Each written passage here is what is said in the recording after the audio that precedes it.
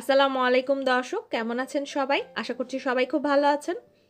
Farzana Moniz রেসিপিতে আপনাদেরকে স্বাগতম জানাচ্ছি।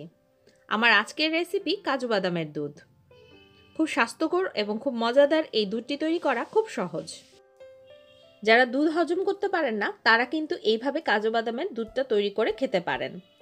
তাহলে চলুন দেখে নিই পুরো প্রস্তুত প্রণালীটি। প্রথমে আমি এখানে নিয়ে নিয়েছি ওয়ান থার্ড কাপ কাজু বাদাম। এখন এটা আমি নর্মাল ঠান্ডা পানি দিয়ে ভিজিয়ে রাখব। প্রায় এক ঘণ্টা মতো ভিজিয়ে রাখলেও হবে, কিংবা আপনারা চাইলে সারা রাত ধরেও ভিজিয়ে রাখতে পারেন। এক ঘণ্টা পর এটা আমি খুব ভালোভাবে কচলে ধুয়ে পানিটা পরিবর্তন করে নেব।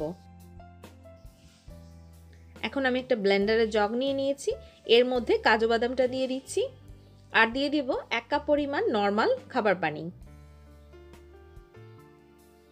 আপনারা চাইলে এটা যদি মিষ্টি করতে চান, তাহলে এখানে একটা আস্ত খেজুর বীজটা ফেলে সেটাও দিয়ে দিতে পারেন।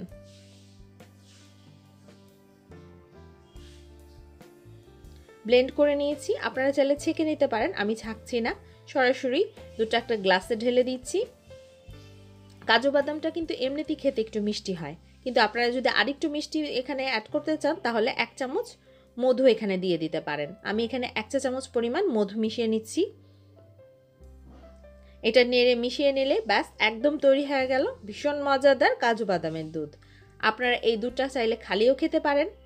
অথবা আমরা যে কিটো ডায়েটের জন্য বুলেট কফিটা তৈরি করি, সেটার সাথেও মিশিয়ে আপনারা খেতে পারেন।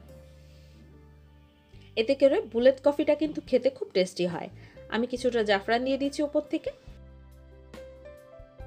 ব্যাস, আমার কাজু বাদামের দুধটা কিন্তু একদম তৈরি হয়ে গেছে। এটা খেতে যেমন সুস্বাদু, তেমনি স্বাস্থ্যকর আপনারা যারা দুধ খেলে পেটে ব্যথা হয় অথবা গ্যাসের সমস্যা হয়, তারা কিন্তু এইভাবে কাজু বাদামের দুধটা তৈরি করে খেতে পারেন।